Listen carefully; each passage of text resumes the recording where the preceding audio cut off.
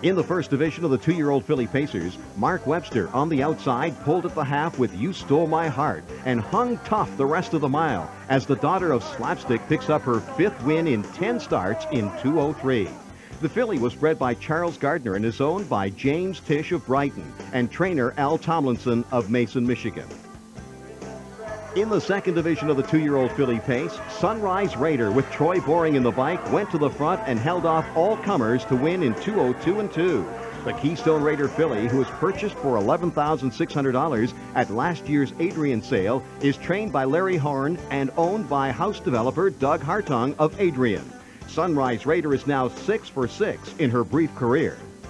In the three-year-old filly trot division, Viva Lady gives the combination of Mark Webster driver and Al Tomlinson trainer their second winner on the afternoon. And oh, what a winner, as the daughter of Viva Roba sets a new track record of 203 and 2. Viva Lady was bred by Lois and Marshall Field and is owned by Dwayne Chippy, Sykes, and Tomlinson of Cass City and Vassar. And in the three-year-old filly pace division, clearly Clout destroyed the competition while shattering the track record to win going away in 158 and 1 for driver Brad Kramer. The daughter of Stubby B was bred by Norm Vance and is owned by Charles Von C, who does the training.